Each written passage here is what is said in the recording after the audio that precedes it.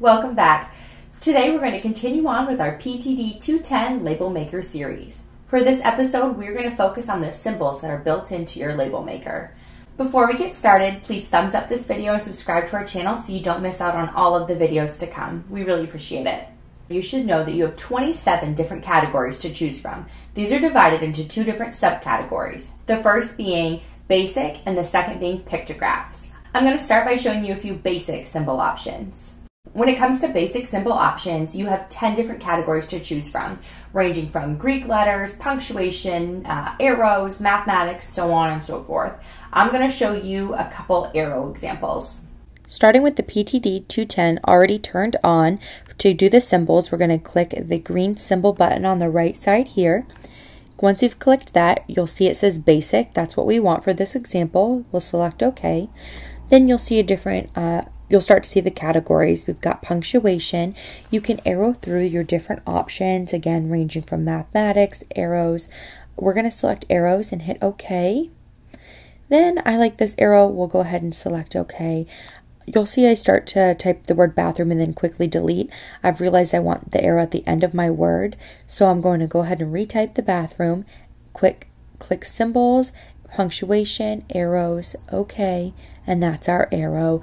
Um, and then you'll notice it's on the right of the word. I'm going to arrow over to put a space between the word bathrooms and the arrow. And I hit print. You'll notice it said one copy. I hit OK. Then I manual cutting that. And then you'll see it says bathrooms with an arrow on the right side.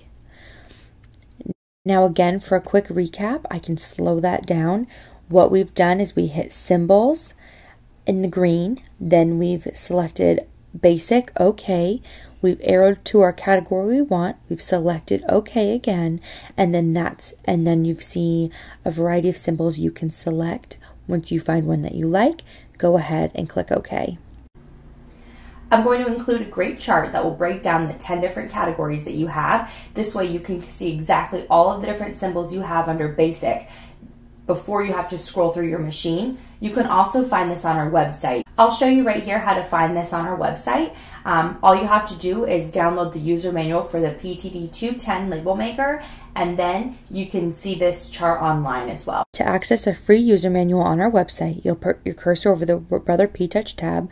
Under Accessories, you'll select User Manuals. Then, from the drop down, you'll go ahead and select your model number, in this case, the PTD 210. From here, you'll see a green Download User Manual. Select that. All you'll do is type your name and your email, and a link will be emailed to you. Don't forget to check your junk mail folder, it likes to go there.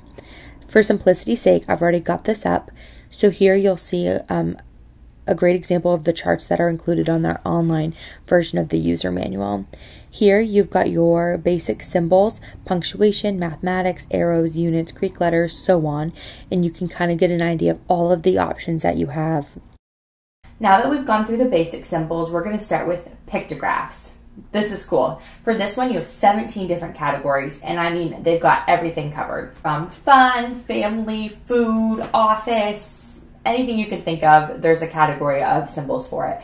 Again, I'm going to include a great chart right here that you are able to go through to get a good idea of all the pictures so you know what you're hunting for by category without having to scroll through hundreds of different symbols. The next category of symbols is pictographs. You have a ton of options ranging from fun, astrology, food. You can kind of see the cute cherries. We've got gardens, schools with little books and magnifying glasses, electrical down at the bottom there. Now, once again, we also have this on our website. Feel free, I showed you a couple slides ago how to access that user manual on our website, um, www.ptouchdirect.com. I'll put a little link right here, help you out quickly. Now that you've seen what there is to offer, we're going to go ahead and hit symbols, and this time we're going to arrow to pictographs. Now you have 17 categories to choose from. You see vehicles, clothing, family. I'm going to go ahead and hit fun for this example, and then I'm going to hit OK. So now we're going through the photos to find something that we like. Um, I think the arrow is cute.